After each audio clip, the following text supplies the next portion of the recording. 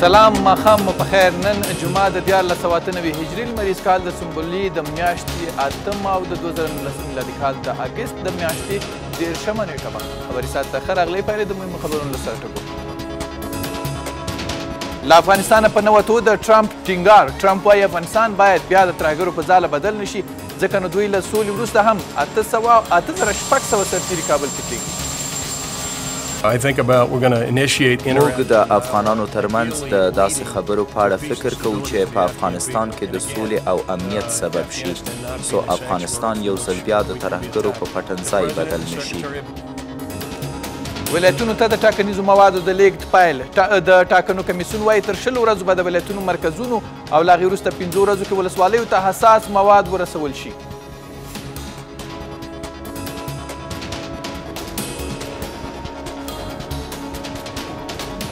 هرات کې د ښځو د پنځم فلمي فستیوال پای په دې جشن کې د اقربو غږ په نوم هندي فلم پنځه جایزې وګټلې د ځینو نورو هیوادونو فلمونو ته هم جایزې ورکول شوې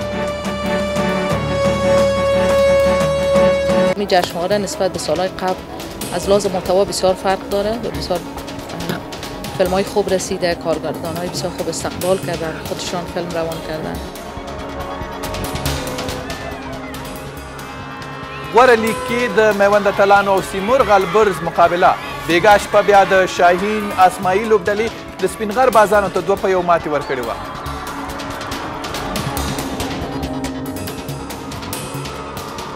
او د پاکستان ولکه کې کشمیر په اړه د عمران خان خبرداری نوموړی وایي که هند د اسلام آباد تر ولکې لاندې کشمیر کې برید وکړ نړۍ ته به بدې پایلې ولري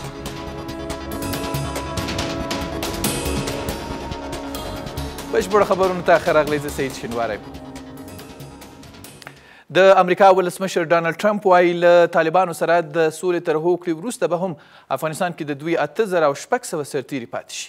ټرمپ له فاکس نیوز سره مرکه کې ویلي، امریکا غواړي افغانستان کې تلپاتې حضور ولري. په ورته وخت کې د امریکا د ګډو ځواکونو د قومندانۍ رئیس جنرال جوزف ډانفورډ وايي، امریکا نه غواړي افغانستان یو ځل بیا د ترهګرو په پټنځای بدل شي. د امریکا ولسمشر د پنجشنبې په ورځ له فاکس راډیو سره په مرکه کې ویلي، له طالبانو سره یوې هوکړې ته له رسېدو وروسته به هم یو شمېر امریکايي سرتېري افغانستان کې پاتې شي. هغه وايي. موږ به افغانستان کې د خپلو سرتېرو شمېر اته زره او شپږ سوو ته راکم کړو. موږ به هلته جګړه نه کوو. موږ یوازې د پولیسو دنده مخته وړو. موږ کولای شول ډېر زر دا جګړه وګټو. د امریکا د ګډو ځواکونو د قومندانۍ رئیس وايي، امریکا د یوې داسې هوکړې په لټه کې ده چې افغانستان یو ځل بیا د ترهګرو په امن پټنځای بدل نه شي. موږ د افغانانو ترمنځ د داسې خبرو په اړه فکر کوو چې په افغانستان کې د سولې او امنیت سبب شي، څو افغانستان یو ځل بیا د ترهګرو په پټنځای بدل نه شي. سیستم امریکا نمیخواه. همونقدر سرمایه‌گذاری که کردن در اینجا از کارشون از بین رفته اونا یک میراث بد به افغانستان بانن سرچینې وایي د امریکايي پلاوي او طالب استازو خبرې د نیمې شپې ورځ تر پنځه بجو روانې وې او دواړو لورو د جمعې په ورځ له ماسپښین وروسته بیا خبرې پیل کړې. هغوی ویل چې خبرې خلاصې دي یعنی بنیادي ټکي خلاص شوي دي تنه هغه څه چې تیار شوي دي په هغو باندې بیا غور کیږي البته طالبان اوس هم وایي سویل شاهین مونږ ته رسما ویلي چې مونږ اوس هم په حیث د اسلامي امارت خبرې کوو بل لور ته بیا د سولې عالي شورا خبرداری ورکوي، که د افغان حکومت مرکچي پلاوی ټول ګډونه نه وي، ګوندونه او سیاسي جریانونه به خپله له طالبانو سره خبرې وکړي. جناب آقای رئیس جمهور اگر تلاش بر این باشد که هیئت مذاکره کننده فقط از ارگ تشکیل شود و طبق خواست ارگ جمع و جور شده به اسلو برود، این بسیار یک حرکت خامی است. طالبانو ته نږدې سرچینې وايي، د ټرمپ دا څرګندونې د امریکا او طالبانو ترمنځ د سولې په خبرو اترو اغېزمنې کېدای شي او د جمعې په ورځ ښاغلي خلیلزاد طالبانو ته د ټرمپ د څرګندونو په اړه وضاحت ورکړی دی. سرچینې وايي، خلیلزاد طالبانو ته ویلي، د دوحې هوکړه به وروستۍ او عملي وي. د ټاکنو خپلواک کمېسیون نن ولایتونو ته د ټاکنیزو موادو لېږد پیل کړ. د ټاکنو کمېسیون د دارالانشاء رئیس وايي، له کابله به ولایتونو ته د ټاکنیزو موادو لېږد شل ورځې وخت نیسي او له هغې وروسته به پنځه ورځو کې د ولایتونو له مرکزونو څخه دغه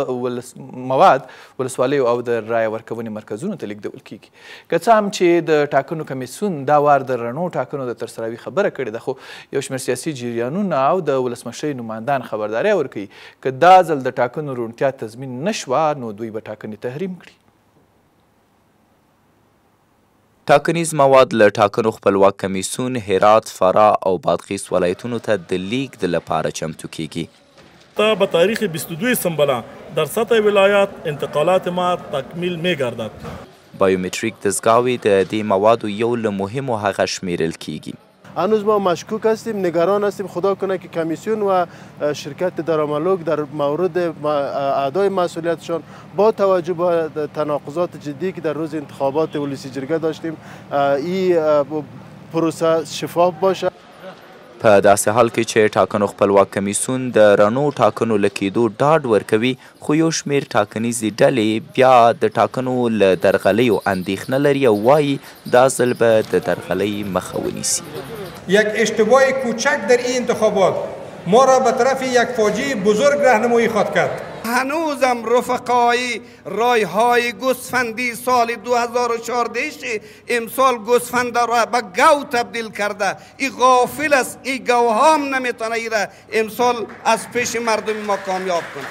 تمه ده چې د ولسمشرۍ نوماندانو کمپاینونه د تلې میاشتې تر شپږمې دوام وکړي او په پنځمه یې ټول مواد د رأی ورکونې مرکزونو ته ولېږدول شي، خو ټاکنې به بیا د تلې میاشتې په شپږمه وي. د ولسمشریزو ټاکنو د کمپاینونو په دوام نن هم یو شمېر نوماندانو غونډې کړې دي. نننیو غونډو کې ډېری نوماندانو د اصلاحي او پراختیایي پروګرامونو په وړاندې کولو سربېره اوسنی حکومت ناکام بللی دی. د دې نوماندانو ډېری ویناوې په سوله او د ټاکنو په ترسراوي متمرکزې وې. دې راپور کې د احمد ولي مسعود، رحمت الله نبیل، سید نورالله جلیلي، عبدالله عبدالله او عبداللطیف پدرام کمپایني غونډو ته اشاره شوې. ولسمشرۍ ټاکنو ته د وخت په رانېږد کېدو سره ورځ تر بلې ټاکنیز کمپاینونه هم زور اخلي. د کابل لویدیځ کې خپلو پلویانو ته په وینا کې د ولسمشرۍ نوماند احمد ولي مسعود د ملي یووالي حکومت مشران په بې برنامګۍ تورنوي. اگر دیدیم که نمیتونه که تضمین شفافیت انتخابات بکنن یک جای کل ما با یک صدا تحریم میکنیم و هیچ کس نمیتونیم که در واقع بیاید در محله ما و شما یک صندوق جر بگذاره و صندوق با صندوق جل سرنوشت ما و شما را قمار بزنه بل لور ته بیا د جمعیت اسلامي ګوند یو شمېر غړو له رحمت الله نبیل خپل ملاتړ اعلان کړی دی. دې غونډه کې رحمت الله نبیل وايي، د ملي یووالي حکومت مشرانو د خپلو شخصي ګټو لپاره د افغانستان د خلکو عزت او آبرو نیلام ته وړاندې کړې ده. بر کشور مثل افغانستان که تاریخش قربانیایش در جهاد و در مقاومت در طول سالهای زیادی در افغانستان برای همه جهان معلوم است ما باید ازی وضعیت خود خود ما نجات بتیم. د ولسمشرۍ بل نوماند سید نورالله جلیلي بیا داسې مهال چې خلکو ته یې د وضعیت د ښه کېدو ژمنه ورکوله د ملي یووالي حکومت مشران د سولو خبرو کې په عوام فریبۍ تورنوي مادر وطن امارت هم میپذیره اما یک چیز را به صورت قطع نمیپذیره که معامله بر سر سرنوشت باشندگان شهر کابل معامله بر سرنوشت باشنده های شهرهای افغانستان چور و چپاول شهرها فروپاشی شهرها و وارد شدن مسلحانه طالبان د دسته دسته و با سلاحا وارد شهرها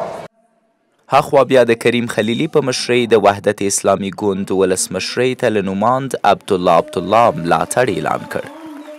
ما ادامه جنگ به خاطر چوکی خود و به قیمت خون فرزندان کشور خواستار نیستیم خلاص ختم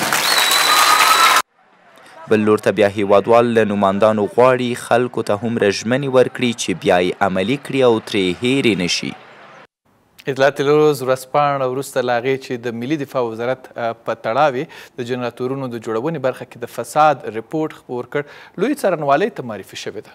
د دې ورځپاڼې مسؤل مدیر وایي چې راپور یې د ترمیموونکي شرکت د سندونو پر اساس جوړ کړی دی، خو د رسنیو د سرغړونې کمیسیون بیا د دې سند له څېړلو وروسته یاده ورځپاڼه لویې څارنوالۍ ته ورپېژندلې. خبریالان بیا د رسنیو د سرغړونې کمیسیون دا کار غندي او وایي چې دا پر رسنیو فشار راوړي څو حکومت کې د فساد موضوعات پټ پاتې شي.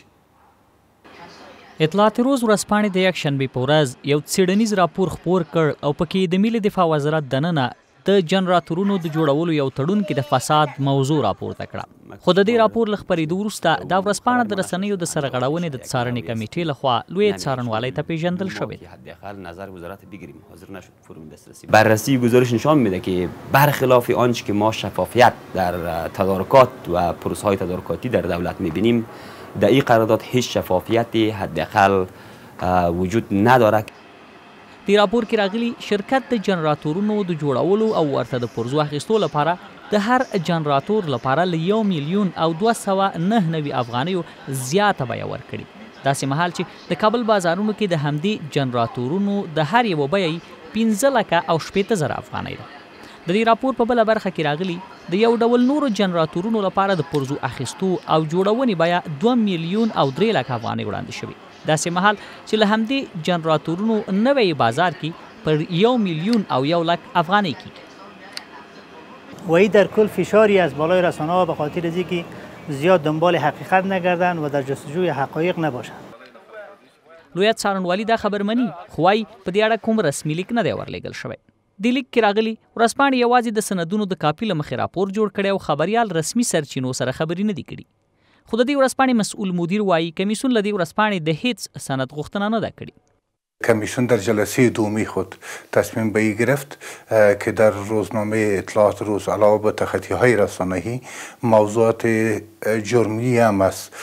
که بررسی از موضوعات صلاحیت کمیسیون مطابق قانون بالاتر بود و مراجع عدلی و قضایی باید معرفی میشد اسناد به اندازه کافی که در نتیجه او بررسی حداقل کمیسیون به یک فیصله برسه و این گزارش به نحو تخطی به شماره اینمی بررسی به اندازه کافی صورت نگرفته به دلیل اینکه هیچ سند از اطلاعات روز حداقل برای بررسی خواسته نشد در کمیسیون د دې ورځپاڼې مسؤل مدیر وايي، د راپور په اړه ټول سندونه لاس کې لري، خو څارنوالۍ ته د ورځپاڼې معرفي کول پر دوی یو ډول فشار دی. د هرات د ښځو پنځم نړیوال فلمي جشن کې د عقربو غږ په نوم هندي فلم ته پنځه جایزې ورکول شوې دي. همدا ډول له افغانستان، روسیې، ایران، شیلي او هند څخه یو شمېر نورو فلمونو او فلم جوړونکو ته هم جایزې ورکړل شوې. د نړیوالو مستندو فلمونو په لړ کې بیا د زرګونه ښځې او زما په څیر نړیوال مستند فلم جایزه اخیستې ده.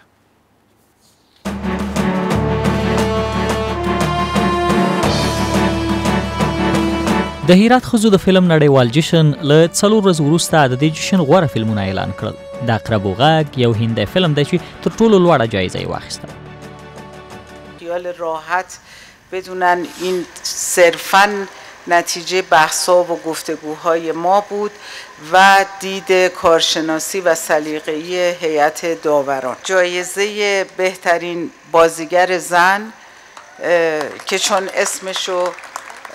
و یادش رو به خوبی میتونم به زبون بیارم گلشیفته فراهانی دا فلمونو کې تر ټولو غوره هغه و همدې کبله یې جایزه واخیسته سینما سرحد نه لري زموږ لپاره سخته وه چې دا ډول ټاکنه وکړو خو خوښه یم چې د یوې هندۍ په توګه له افغانستان پنځه ویاړونه له ځان سره وړم د هرات خوځو د فلم نړیوال جشن سیمه کې یو له غواره هغو دی چې د سینما په برخه کې له بیلابیلو کړنو پرده پورته کړې ده می جشنواره نسبت به سالهای قبل از لحاظ محتوا بسیار فرق داره و بسیار فیلم های خوب رسیده کارگردان های بسیار خوب استقبال کردن خودشان فیلم روان کردن د دې جشن په پنځم پړاو کې اووه څلوېښت فلمونه له دېرش هیوادونو سیالۍ ته وړاندې شوي وو لنډه دمه کوو بیرته راسو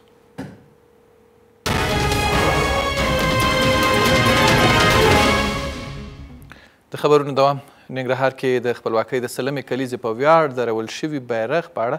مسولانو ویلي و چې دا بیرغ به سل متره دنګ وي او د پښتونخوا له ځینو سیمو به هم ښکاري خو اوس ویل کېږي چې دا بیرغ له هغې اندازې ډېر کم دی چې چارواکو یې په اړه ویلي د ننګرهار اوسیدونکي وایي چې دا بیرغ د جلال آباد ښار له منځه هم سم نه ښکاري خو د ننګرهار د والي ویاند بیا دا کار یو تخنیکي ستونزه بولي چې ګواکې د بیرغ اندازه راکمه شوې دا بیرغ د خپلواکۍ د سلمې کلیزې په ویاړ د جلال آباد ښار په لوړه تپه ځړول شوی دی د دې بیرغ چارې د قندهار د والي حیات الله حیات د ورور او د ولسمشر غنی سلاکار ریاض حیات لخوا پر مخ وړل شوې دي او دغه بیرغ د ولسمشر غنی او د ننګرهار د ملي سوداګرو په مالی مرسته جوړ شوی دی بیرغ د سړولو پر مهال ویل شوي ول چې دغه بیرغ سل متره لوړوالی لري چې اویا لکه افغانۍ پرې لګښت راغلی دی. دا بیرغ د نړۍ په کچه باندې اتم ستر بیرغ دی چې په تل پایل نه درته وګورئ او د اسیا په کچه باندې په دوم د همی او د موږ د کندهار بیرغ دی دا ویاړ یې د افغانستان په برخه دی د بیرغ جوړونکو لخوا ویل شوي وو چې دغه بیرغ له هیواد څخه بهر یوې کمپنۍ جوړ کړی دی خو په لومړۍ ورځ د بیرغ ټوټه څیرې شوه. د ننګرهار اوسیدونکي وايي، دغه بیرغ په جلال اباد کې جوړ شوی دی. د دې بیرغ د جوړولو مسولینو ویل چې دا به د خیبر پښتونخوا ځینو سیمو نه هم لیدل کیږي، د ننګرهار او ځینو نورو مشرقي ولایتونو نه، خو اوس په ښار کې هم نه لیدل کیږي. که کله کمپنۍ کې دا بیرغ جوړیږي نو هغه پکس راځي، دا ټوټې ټوټې یو یو متر ټوټې ټوټې جوړې شوې دي او هغه یو بل پسې نښلول شوي دي او بیا ترې دغسې یو لوی بیرغ جوړ شوی. د ننګرهار والي ویاند وايي، د بیرغ ستنې سل متره اوږدوالی لري، خو اوسمهال د تخنیکي ستونزو له امله بیرغ شاوخوا اویا متره لوړ دی. یو په بل کې د تړلو له امله ځینې هغه اوږدوالی کم شوی دی او دا یوه تخنیکي ستونزه ده چې اوس د اویا مترو یا د هغې څخه لوړه کچه دی خو پایې د یو سلو دوه متر په اوږدوالي باندې راوړل شوي دي او نصب شوي دي د ننګرهار اوسیدونکو غوښتنه کوي هغه کسانو چې د بیرغ د جوړولو مسولیت پر غاړه درلود ورڅخه پوښتنه وشي چې په دغه بیرغ څومره لګښت راغلی او څومره پیسې ورسره ولسمشر غنی او ملي سوداګرو مرسته کړې ده څنګه زمکه وبیرته راځو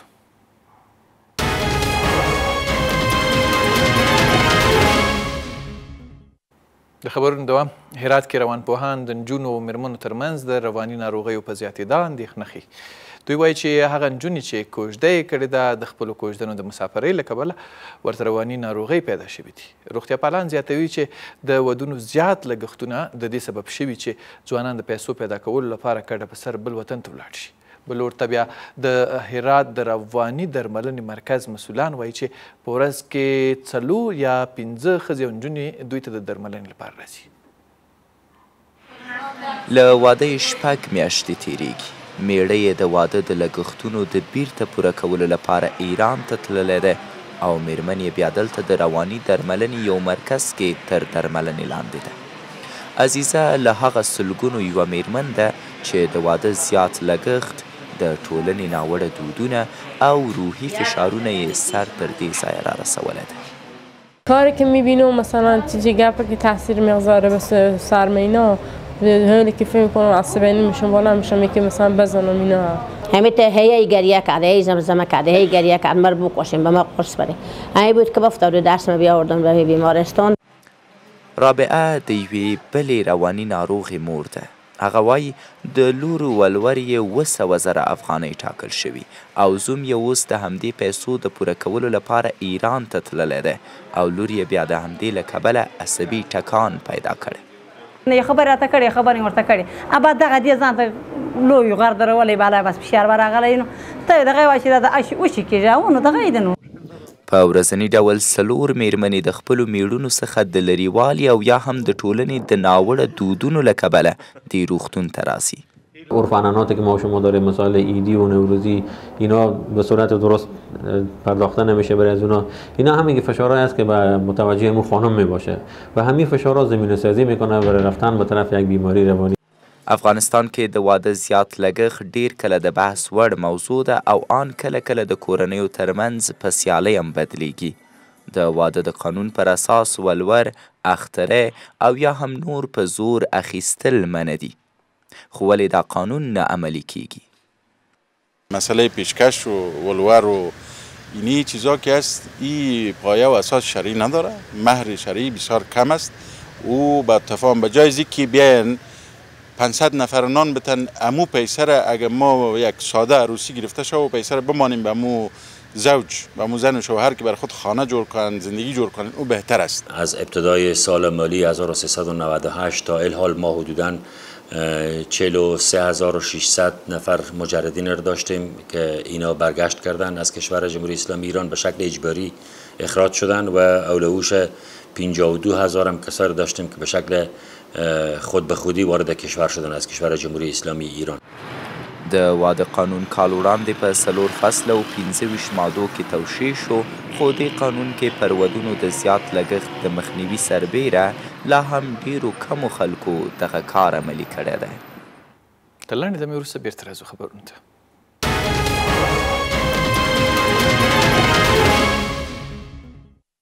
د خبرونو دوام د بلخ یو زوړ میزګر وايي، هڅه کوي چې د ښایسته لوښو په جوړولو سره دا پخوانی صنعت له نابودۍ وژغوري.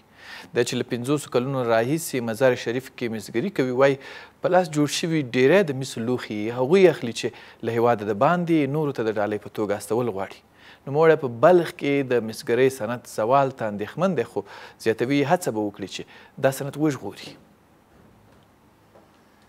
د مسګرۍ صنعت د ژوندي ساتلو لپاره پر دې سماوار مس ټوم دي دا سړی شپېته کاله عمر لري او له تیرو لسو کلونو راهیسې دلته په مزار شریف ښار کې مسګري کوي که څه هم دغه په لاس د مسي توکو جوړ شوي وسایل په کور دننه ډیر اخیستونکي نه لري خو یو شمیر یې اخلي او له هیواد د باندې یې د ډالۍ په توګه نورو ته لیږي د دوبای د پاکستان ایران ایجا یو زمان مسګری مزار شریف کې ښه زور درلود او ګټه یې زیاته وه له همدې کبله ډیرو دا کسب پیل کړ خو اوس یې چندان مزه نشته د هیواد بازارونو ته د چینی لوښو راوړل کېدو د مسکرانو بازار سوړ کړی دی. بعضی چیزای دیگه که پلاستیکی و ای و او برآمد کار و بار میسه سقوط دادن. دیگه چای برا کلی میسی بود ای ارمنی و ای چیزا نبود اصلا ارمنی هم پس آن برآمد کلی میس بود ای چای برا ای کټه کټه میس بود دسته دار بود. تیر که د مزار شریف د مسکری بازار کی له پنځوسو زیاتی اټی وی خو اوس شمیر یواځی دری دی. افتالگان شاجوش سوار چلاو صاف دیگ میرم شد چیزا اینا فروش دارم ده د خامو موادو کمی د نورو هیوادونو څخه د لوښو واردات او د مسی لوښو لوړه بیه هغه څه دي چې د مسګرۍ بازار ته یې ضربه رسولې ده له همدې کبله اوس یو شمیر د مسګرۍ صنعت په بدلون باندې ټینګار کوي چیزهایی را اینا بسازند که بیشتر آلات تزینی باشد که نه تنها در بازارهای داخلی اینا مشتری داشته باشند بلکه امی ساخته دست خود به عنوان یک چیز انتیک یا تزینی بتونن در بازارهای بیرون از افغانستان هم اینا به فروش برسانند که څه هم د بلخ د صنعت او سوداګرۍ ریاست د مسګرۍ د کار روزګار د ښه کېدو په اړه د خپلو هڅو یادونه کوي، خو مسګران بیا وايي، اجازه به ورنه کړي چې دا پخوانی کسب نابود شي. امنیتي ځواکونو د هلمند لښکرګاه ښار ته څېرمه د نهر سراج په پراخه سیمه چاڼیز عملیات پیل کړي دي. امنیتي ځواکونه وايي، تر اوسه یې دغو عملیاتو کې د وسلهوالو طالبانو د ماینونو د جوړولو څو فابریکې له منځه وړي دي او لسګونه کلي یې هم له دې وسلهوالو پاک کړي. امنیتي چارواکي زیاتوي، عملیات یې په دې موخه پیل کړي دي چې تر راروانو ټاکنو لښکرګاه ښار، نهر سراج ولسوالي او د هلمند کندهار عمومي لاره د وسله والو طالبانو له ګواښونو څخه په امن کړي، خو وايي چې په دې سیمه کې د امنیتي پوستو د جوړولو لپاره کوم پلان نه لري. دا د نهر سراج او د پوپلزو او ګوبند هغه پراخې سیمې دي چې دا تېري څو ورځې وړاندې لا د طالبانو په ولکه کې وې. امنیتي ځواکونو د تېرو څلورو ورځو را په دېخوا په یادو پراخو سیمو کې عملیات پیل کړي دي او وايي یادې سیمې د طالبانو لپاره امن وې چې له دې ځایه به د لښکرګاه ښار، د نهر سراج ولسوالي او د کندهار هلمند عمومي لاره ګوښه وله. دا څه هم د نقطه نظر دی ستراتیژیک ډیره مهمه نقطه ده او دلته تاسو ته معلوم ده چې طالبانو ته هم ډیره مهمه منطقه ده چې د دوی دلته په ځالې دي پټ ځایونه دي چې دا موږ غواړو چې د آینده انتخاباتو لپاره زمینه مساعد کړو خپل د هلمند ولایت پتمن او عزتمن ولسته امنیتي ځواکونه وايي، وسله والو طالبانو دلته ولسوالي او د مین جوړولو فابریکې درلودې چې دوی د عملیاتو پر مهال له منځه یووړې او یاده سیمه کې وسله والو طالبانو خورا ډېر ماینونه ځای پر ځای کړي وه. دا د سره شاخ منطقه ده چې سور شاخ د طالبانو تر ټولو غټ مرکز دی. د طالبانو په دې مرکزونو کې موږ ډیر مهم ځایونه د بینه وړي دي د دوی اصلي پټن ځایونه د مینو کارخانه ډیر مینونه مو خونسا کړ کاش مو کړل طالبانو مړي وسم پراته دي راګرځولې مو دي او راکټ مو یو دانه جنګیر کې ملکی کورو کې طالبان استفاده کول ملکی کورونه کې ډیر مینونه استغاف خونسا کړل او وایي کومک موږ ته ښه سوی او ښه وظیفه مې جدا کړه. امنیتي ځواکونه وایي په یادو عملیاتو کې لسګونه کلي د وسلوالو طالبانو له شتون څخه پاک کړي تر څو د ټاکنو پر مهال لښکرګاه ښار او شاوخوا سیمې د طالبانو د بریدونو له ګواښ څخه په امن کې شي.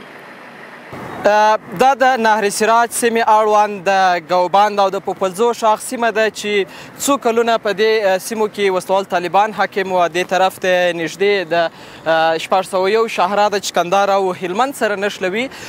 دلته امنیتي ځواکونو عملیات شروع کړي ترڅو پر لشکرګاه ښار باندې د وسلوال طالبان د بریدونو فشار کم سي او دوی وایي چې غواړي په دې عملیات سره په دې سیمه کې چې د طالبانو لپاره امن سیمه وه د طالبانو پټنځایونه له منځه ویسي ترڅو د انتخاباتو لپاره ښه زمینه سازي وسي عبدالله حمیم طلوع نیوز هلمند د امریکا ولسمشر ډانلډ ټرمپ وایي له طالبانو سره د سولې تر هوکړې وروسته به هم افغانستان کې د دوی اته زره او شپږ سوه سرتیري پاتې کیږي. ټرمپ له فاکس نیوز سره مرکه کې ویلي چې امریکا غواړي افغانستان کې تلپاتې حضور ولري. په ورته وخت کې د امریکا د ګډو ځواکونو د قومندانۍ رئیس جنرال جوزف ډانفورډ وایي چې امریکا نه غواړي افغانستان یو ځل بیا د ترهګرو په پټنځای بدل شي.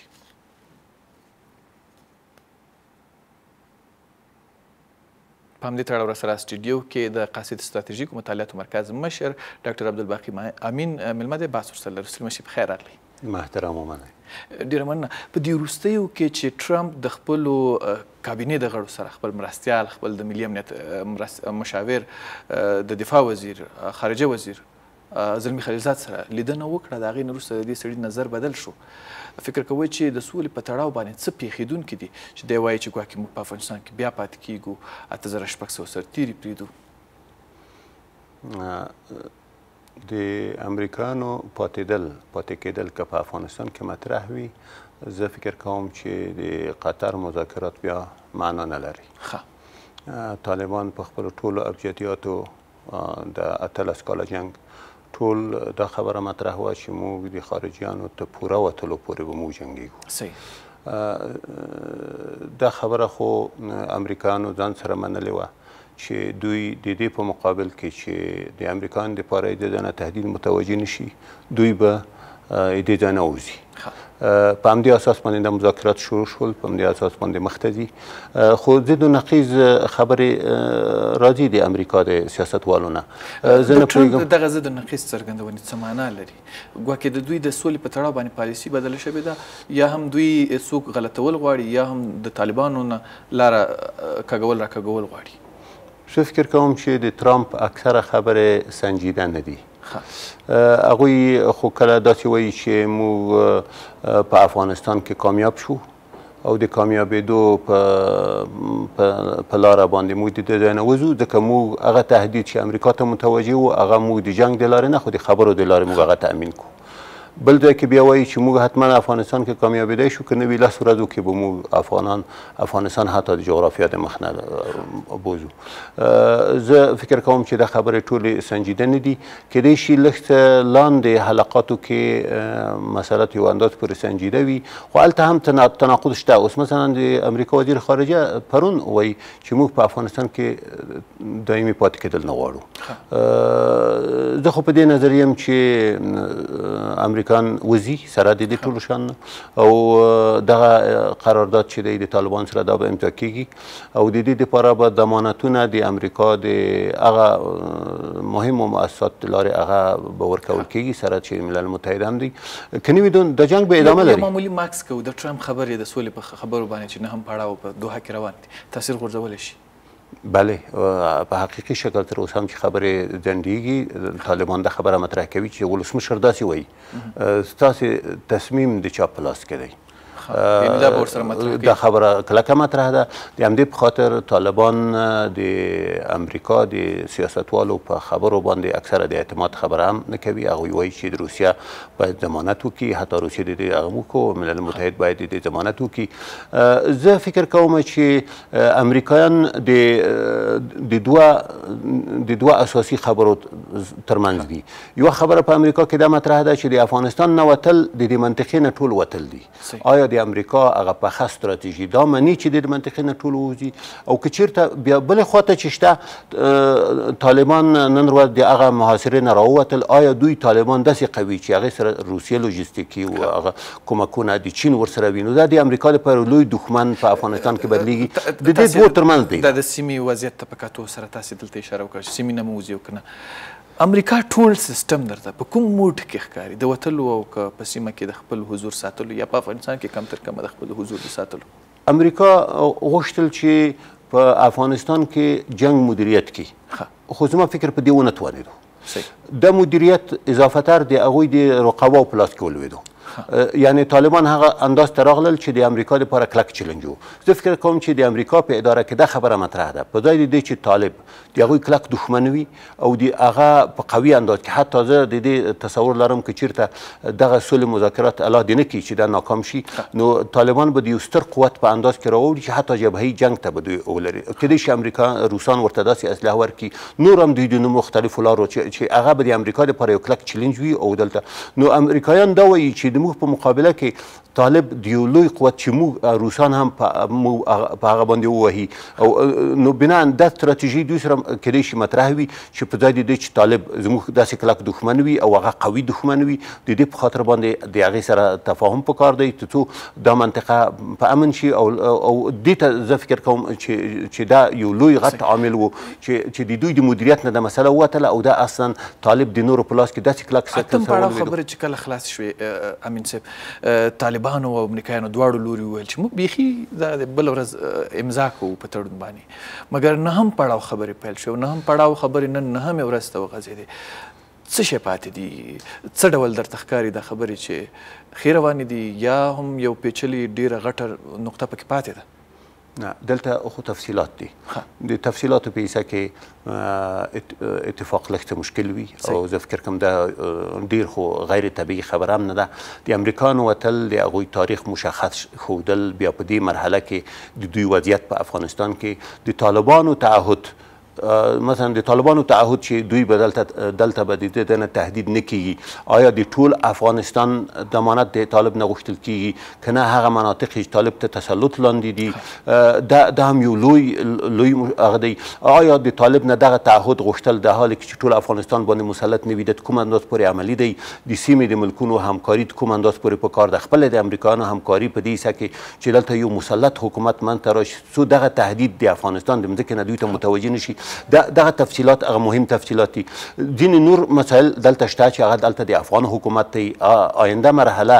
آیا دلته یوه موقتي مرحله په کار ده؟ په دې موقتي مرحله حالت به څنګه وي؟ په دې کې به اوربند په څه رنګه وي؟ دغه مذاکرچي خبرې به تر کوم انداز پورې کېږي؟ امریکایان چې دا خبره کوي چې موږ تنها په وتلو کې نه یو، موږ یو باثباته افغانستان د ځان نه پرېښودل غواړو ښا په دې حصه کې نو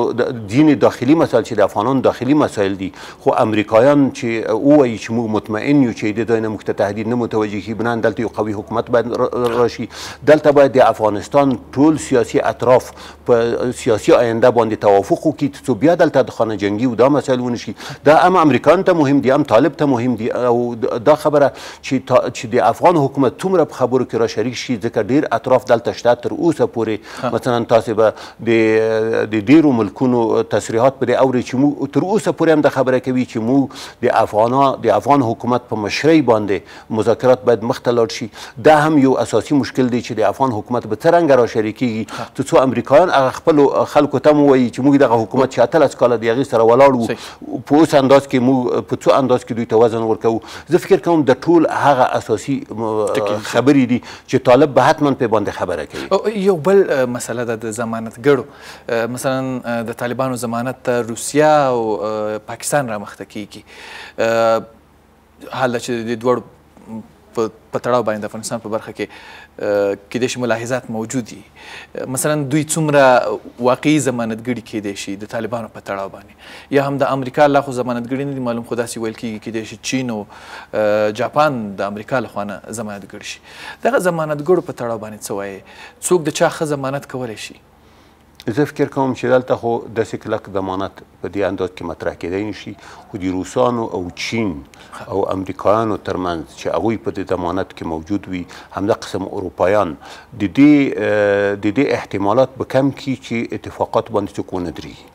دلته به دا فشار هم رامنځته شي، مثلا روسان که چېرته تاسو په اتفاق باندې ونه بیا موږ مداخله کوو. بیا مثلا موږ لاس ورکوو بناً د امریکایانو لپاره ځکه دلته خو اوس قوت به په قوت باندې په ځای باندې ودروي د امریکا په دې قرارداد کې که قوي اطراف لکه روسیه او لکه چین او لکه اروپا اتحادیه دا را شامل شي نو امریکایانو ته به بیرته ګرځېدل په مختلفو بهانو باندې دا سخت کار وي او که نه وي نور خو امریکایان خو تاسو ته معلوم دي چې د کومه انداز پورې د قراردادونو نه په ډیر آسان شکل سره وځي بله خو همدا خبره ده. د دا ضمانت به د افغانانو لپاره ډیر اوس که مثلا وایي چې په پنځلسو میاشتو کې یا اتلسو میاشتو کې ام- امریکایان وځي ښا که امریکایان د دې قرارداد نه شپږ میاشتې وروسته وایي چې نه موږ پاتې کیږو دلته موږ ته تهدید متوجه دی یا هم په هغه اه، بندونو باندې چې صحیح. اتفاق به باندې شوی ډیر زیات وه. نو نو زه فکر کوم چې چې د قوي ملکونو حضور په دې کې دا یو اساسي ډیر زیات مننه ډاکټر صاحب عبدالباقي امین د قاصد ستراتیژیکو مطالعاتو مرکز مشر کور ودان لنډه دمه کوو تر دمې وروسته بیرته راګرځو خبرې سات ته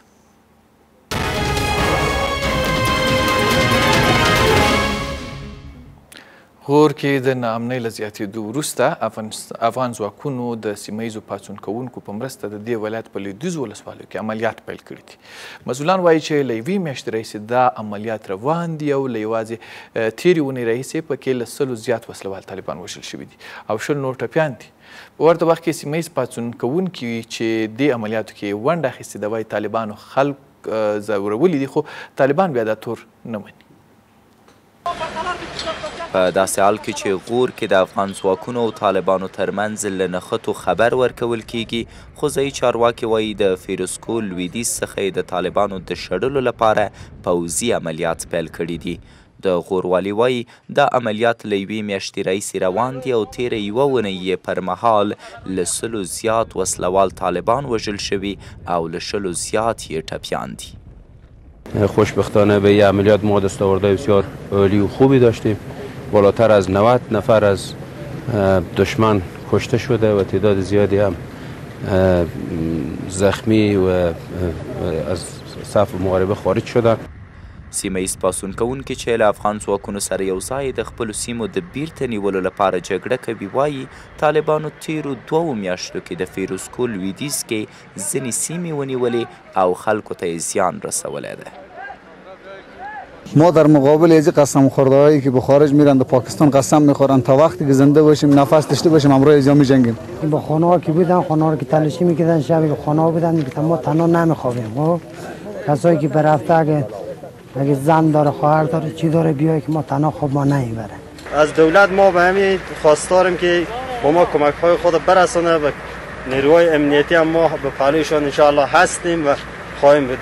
خو طالبان بیا د خلکو آزارول نه مني د افغان ځواکونو عملیات په جام، میدانک، برخان او بیدان سیمو کې چې د غور لویه لارم رانغاړي روان دي. ما یک عملیات هوایی و زمینی برا انداختیم به طرف غرب فیرسکو در مناطق دره جام و دهن دره بیدان که در نتیجه عملیات ما بیشترین تلفات برای دشمن وارد شد مسئولان وايي دا عملیات به د فیروزکو لویدیځ کې د طالبانو له خوا پیدا شوي خطرونه پای ته ورسوي.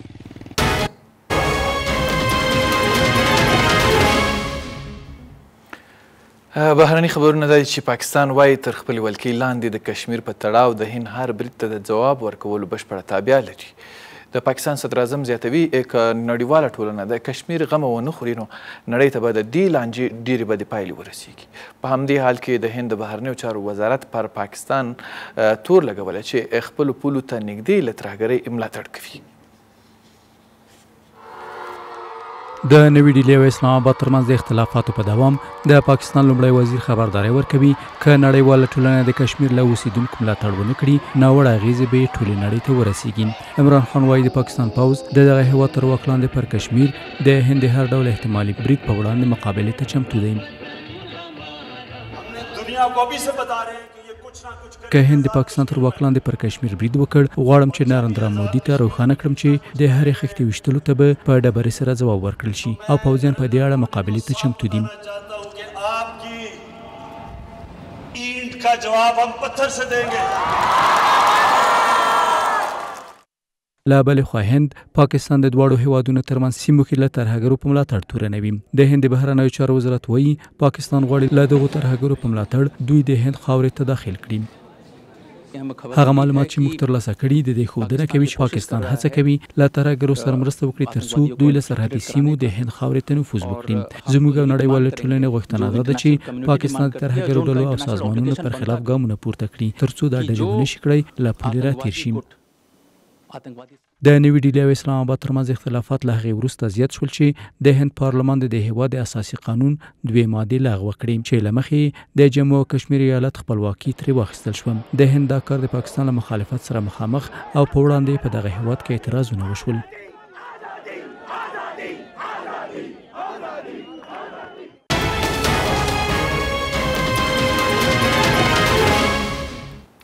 دا هم اقتصاد د نادر پښتون وارډ د اورلګېدنې په پېښه د لس میاشتو له تېرېدو وروسته د زرنګارو خیرخواب مارکیټونو هټۍوال د سړک پر سر د توکو پلورلو ته راوتلي. دوی وايي حکومت لا هم بېرته په دغو مارکیټونو کې د کار پیلولو اجازه دوی ته نه ده ورکړې، ځکه نو اړ شوي دي چې د نادر پښتون وارډ د سړک په غاړو د توکو پلور ته مخه کړي. دا په داسې حال کې ده چې دواړو مارکېټونو سره نږدې د درېیو نورو مارکېټونو هټۍ والو د اورلګېدنې په پېښه له لسو میاشتو وختو وروسته بېرته خپل کاروبارونه پیل کړي دي.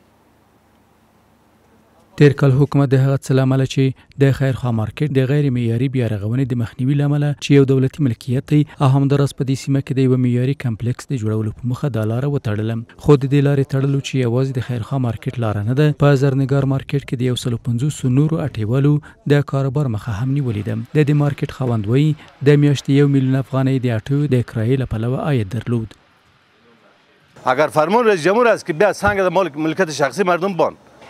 خو وزارت مالیه به ما فرمان را بکشد طبق قانون ما عمل میکنیم مال شخصی کسی را کسی میتونه که بند بسازه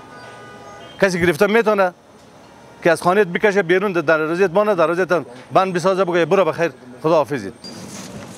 فرید د زرنګار مارکیټ یو ټیوال دی چې اوس د واټ ترڅنګ توکي پلوري او وایي د ورځې درې سوه افغانۍ عاید لري خو لس میاشتې مخکې یوازې د دوو کارګرانو ورځنی معاش څلور سوه افغانۍ و یگانه هشت لک یا هفت لک افغانی از مردم قرضدار ماندیم به خاطر از که در خانه قزارا پیش سر ما میان که گریخت دکان پیسه ما را برده چه شد آدم تذره شد دوپه شد چطور شد اینجا آمدیم یک کراچی استاد کردیم یک جای جایداد ملکیت شخصی تومه حریق میشه هر حادثه طبیعی بر روز اتفاق میفته حکومت ها سعی میکنن که بر از اونها سهولت های ایجاد بکنن که سکتور خصوصی پس سر پای ساچن مثل قرضای طویل المدت بدون بهره مثل معافیت های طویل المدت از مالیات این نوع چیزا که یعنی پس تجار کسب و کار روی پای خود بیسته ولی متاسفانه اینجا ما جایی که ما میخوایم با پول شخصی خود از جیب خود می کسب و کار میخوایم باز دوباره احیا بکنم این کار دولت برای ما موانع ایجاد میکنه د زرنګار او خیرخوا مارکیټونه هټۍ والان حکومت په دوه ګوني چلند تورنوي او وایي دریو نورو مارکیټونو ته چې سوځېدلي وو د کاروبار د بیا پیلولو اجازه ورکړل شوې ده در باره ما بسیار بزرگترین غفلت صورت گرفته هدایت لازم بتن که سنگ که بالای موانعی که بالای ورود عبور و مرور مشتری های ما گذاشته شده ای را دور بکنن دا زمون حقوقی آدرس مونږ ترا کی مونږ کمپنیو نه قرضدار یو خلک مونږ نه قرضدار مونږ خلکو نه قرضدار چې مونږ په خپل ځکینو اجازه د فعالیت راکړي. د مالیې وزارت وايي، د دولتي املاکو او ملکیتونو مسوولیت له دې وزارت د ښار جوړولو او اراضیو وزارت ته لېږدول شوی، خو د ښار جوړولو وزارت په دې اړه نظر نه ورکوي. د کابل د شکردرې ولسوالۍ اوسېدونکو په یوه اعتراضیه غونډه کې ادعا کړې ده چې ځايي زورواکان ترې ځمکې غصبوي او بیا یې په خلکو پلوري. دوی وايي، ځینو زورواکانو په جعلي قوالو ترې ځمکې لاندې کړې دي او اوس یې په نورو خلکو پلوري. خو د کابل والي بیا دا ادعاوې ردوي او وايي چې معترضان د زورواکانو لخوا راپورته کړی شوي دي ترڅو د ځمکو په تړاو د قانوني تصفیې مخه پرې ونیسي. د شکردرې ولسوالۍ د د یعقوب کلي یو شمېر اوسېدونکو د هغه څه په وړاندې اعتراض کړی چې د زورواکو لخوا یې د دوی د ځمکو غصب او د دې کار په مخنیوي کې د حکومت بې پامي بولي. به والي صاحب هم عریضه دادیم والي صاحب عریضه ما رو باخساس نکرد.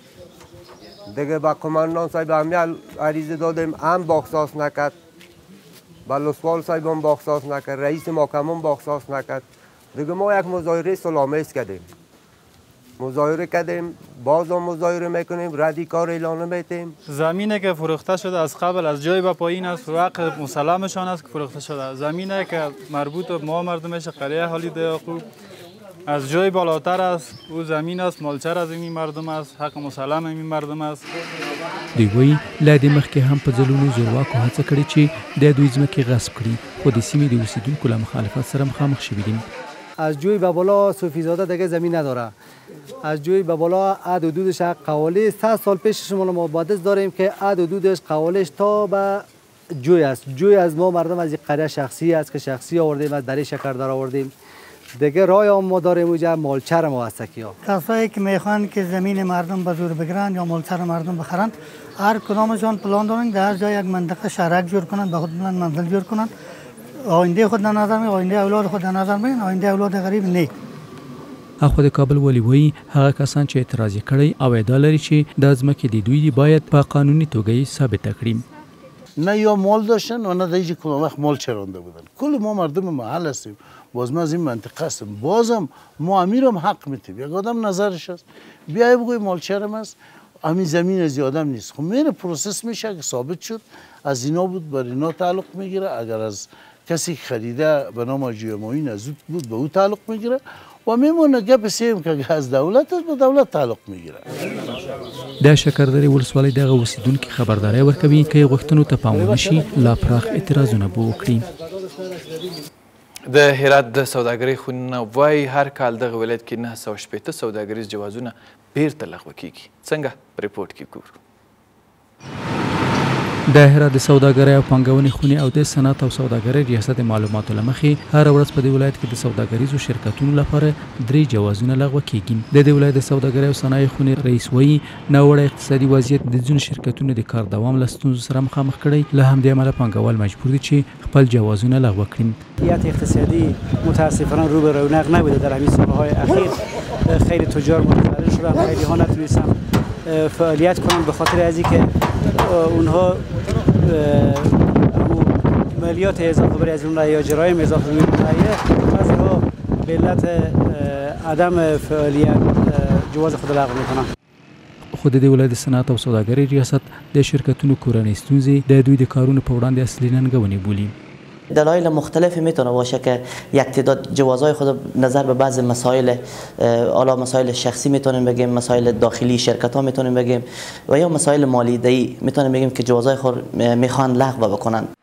له بلې خوا د هرات والي هم په دې ولایت کې د سوداګرۍ او پانګونې د وضعیت په ښه کېدو ټینګار لري. یک روتین کار تجارتی است یک, یک کسی میای جواز میگیره یک کسی جواز خود لغو میکنه ما مطمئن هستم جوازهایی که ما صادر میکنیم رئیس به تجارت میگه است به مراتب زیادتر از چیزی است که لغو میشه د هرات د صنعت او سوداګرۍ ریاست د اطلاعاتو له مخې په دې ولایت کې د سوداګرۍ او پانګونې د جوازونو ویش زیات شوی او د روان کال له پیل راهیسې د سوداګرۍ او پانګونې کابو پنځه زره جوازونه ویشل شوي دي.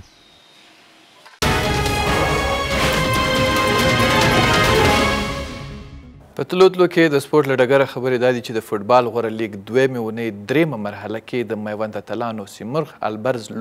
لوبه جریان لري. دا په داسې حال کې ده چې د ډله ییزو سیالیو په دویمه سیالۍ کې د شاهین اسماعیلو ډلې بېګا شپه سپین غر بازان ته دوه په یو ماتې ورکړې وه او د سیالیو بل پړاو ته یې لار ومونده. دا سیالۍ له طلوع لمر ټلویزیونونو او دغه راز له ارمان و اراکوزیا راډیوګانو په ژوندۍ بڼه خپرېږي. هم لبخند هست هم خوشی به هم یک پیرسی قاطع د میوند اتلان صفر سیمرغ البرز شو. د کابل د تنکیو زلمیانو د کلبونو په کچه د کانګ فو غوره وي لوبډلې لپاره سیالیو کې د جهاد خالق یار او د ځوانانو له منځه د جهاد کلب نه جاوید لومړی مقام خپل کړی دی. د دې سیالیو په پایله کې شپږ څلوېښت غوره لوبغاړي د کابل منتخبې لوبډلې ته وتلي دي.